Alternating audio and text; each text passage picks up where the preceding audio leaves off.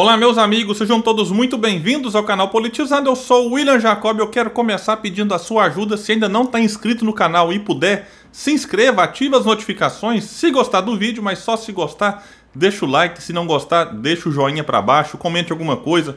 Um bom dia, boa tarde ou boa noite. Até isso é importante para que o nosso trabalho chegue em outras pessoas. E se essas pessoas também desejarem um Brasil melhor, como é o meu caso aqui no canal, elas serão muito bem-vindas aqui.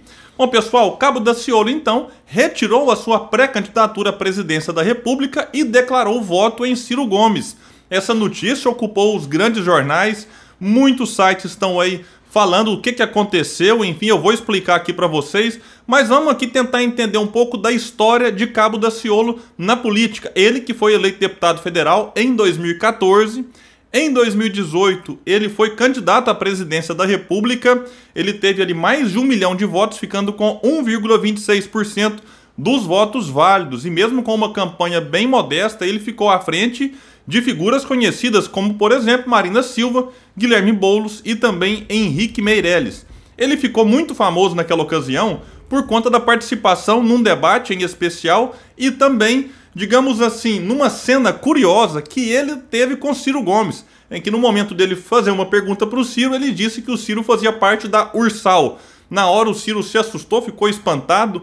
Aí o Daciolo falou: Ah, você faz parte sim. O Ciro levou numa boa, disse que não sabia o que, era aquilo, que era a primeira vez na vida que ele escutava sobre aquilo lá. Isso virou meme nas redes sociais. Até hoje, muita gente brinca sobre essa questão de Ursal. Recentemente, o Ciro participou do podcast 011. Eu cheguei a analisar essa participação aqui no canal Politizando. E no final, o Ciro foi convidado a dar like ou dislike para vários políticos e também pessoas aí fora do mundo político. E chegou no cabo da Ciolo. Eu fiquei ansioso para ver qual seria a reação do Ciro e ele deu um likeíssimo. Foi o único deles que recebeu esse likeíssimo e o Ciro explicou. Falou que é um cara que tem boa fé, disse que não conhecia antes daquele famoso debate, mas que gosta dele. Então, neste dia 16 de dezembro, Cabo Daciolo publicou aí no seu Facebook um vídeo com 22 minutos em que ele estava no aeroporto do Galeão. Eu assisti esse vídeo na íntegra. Lá ele explica que ele esteve no Ceará no dia anterior para encontrar o apóstolo Luiz Henrique e coincidiu né, de que a sua chegada lá no Ceará se deu no mesmo dia em que aconteceu aí essa questão da Polícia Federal ter ido na casa ou no apartamento de Ciro Gomes, assim como de Cid.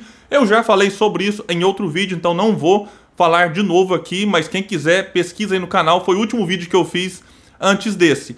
E aí o Cabo da Ciolo, que tinha até tentado no dia anterior um contato para se encontrar com o Ciro, a pessoa lá, Luísa, que atendeu o Daciolo, ele explica isso lá no seu vídeo, disse que, olha, o Ciro iria para Ribeirão Preto, então ficaria difícil esse encontro dos dois. Ele conta que quando chegou lá em Fortaleza, o que se falava era nessa questão da Polícia Federal. E aí ele teve um encontro com o apóstolo, e quando ele estava no aeroporto para voltar para o Rio de Janeiro, ele fala então que teve um contato com o Espírito Santo que pediu para que ele retornasse e mudasse lá o seu voo e tentasse então um encontro com Ciro Gomes. Encontro que aconteceu. Então a gente viu lá uma agenda muito tumultuada do Ciro, com muitas entrevistas, e ainda assim ele recebeu no seu apartamento o cabo da Ciolo. A Todos com Ciro fez um corte da parte final desse vídeo. Eu vou deixar o link da íntegra do vídeo e também o link desse corte muito bacana que a Todos com Ciro fez e divulgou nas suas redes sociais. Em que aqui, vocês vão perceber, ele retira sua candidatura e declara voto no Ciro Gomes. Mas mais do que isso, foi um vídeo bem legal, vale a pena assistir. Confiram.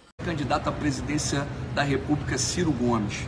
Irmãozão, no dia da eleição, em 22, na contagem dos votos, se você tiver um voto lá, saiba que esse voto foi do Cabo da Ciolo.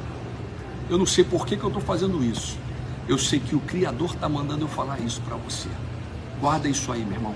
Continua agora no caminho do Senhor. Busca Ele, jejua, ora, lê Bíblia, meu irmão. Porque você verbalizou Jesus como Salvador e Libertador da tua vida. O propósito maior da nossa existência é anunciar reino. Quero dizer, a tua esposa, aos teus filhos, a tua família, a Luísa e a você, meu irmão, que eu te amo e que foi um momento especial estar contigo ontem. E eu sei que foi propósito de Deus, mais uma alma para o Criador.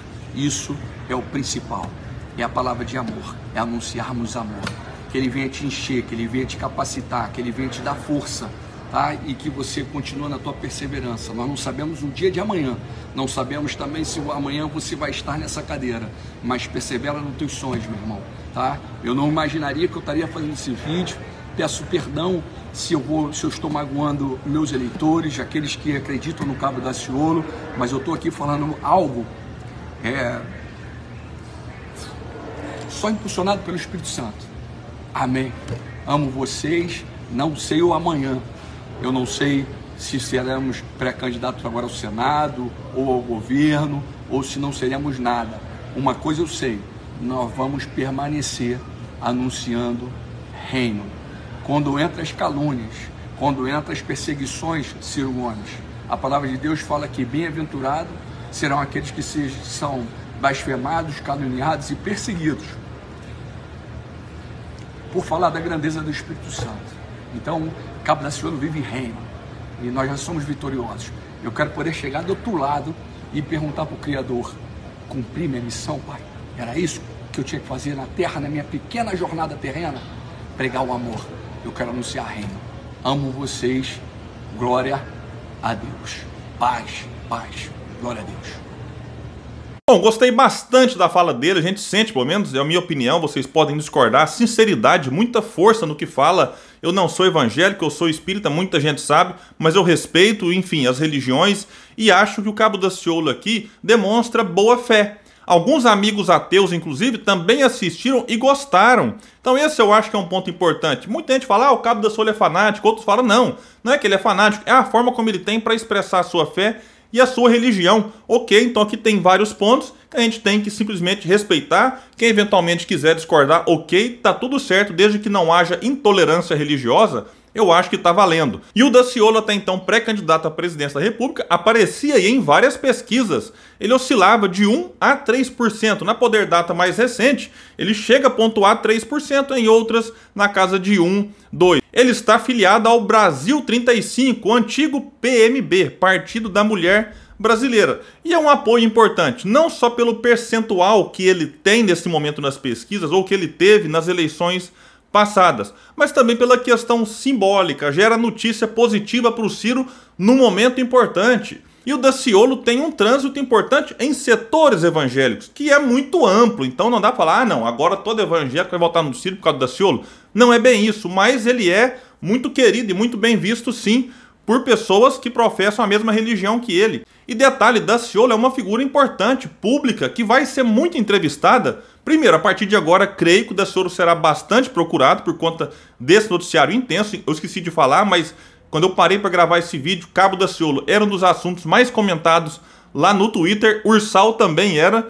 E assim, é importante que ele então quando for falar do porquê que ele decidiu retirar sua pré-candidatura, esses pontos são importantes e creio que ajuda com que o nome do Ciro seja mais bem visto por outras pessoas que eventualmente nesse momento têm alguma rejeição. Então isso é importante também.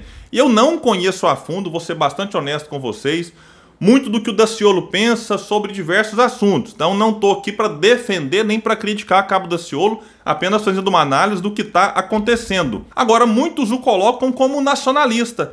E isso é importante. E quem sabe é, outros apoios virão. Por exemplo, muita gente fala no próprio Aldo Rebelo, que tem muitas ideias aí que convergem com o que o Ciro Gomes tem defendido para o Brasil. Marina Silva, Heloísa Helena, enfim, quem sabe daqui para frente a gente começa a ter um afunilamento aí desses pré-candidatos, ou mesmo aqueles que não são pré-candidatos, quando passarem a declarar apoio a este ou aquele, isso pode criar um noticiário positivo para o pré-candidato, como está sendo criado nesse momento com o apoio que Cabo da Ciolo está dando para o Ciro Gomes. Enfim, a militância ficou bastante animada, eu acompanhei aqui vários grupos e realmente a reação foi muito boa junto da militância e vamos ver como que vai ficar tudo isso daqui para frente. Qualquer grande novidade eu trago para vocês aqui no canal Politizando. Valeu e até o próximo vídeo.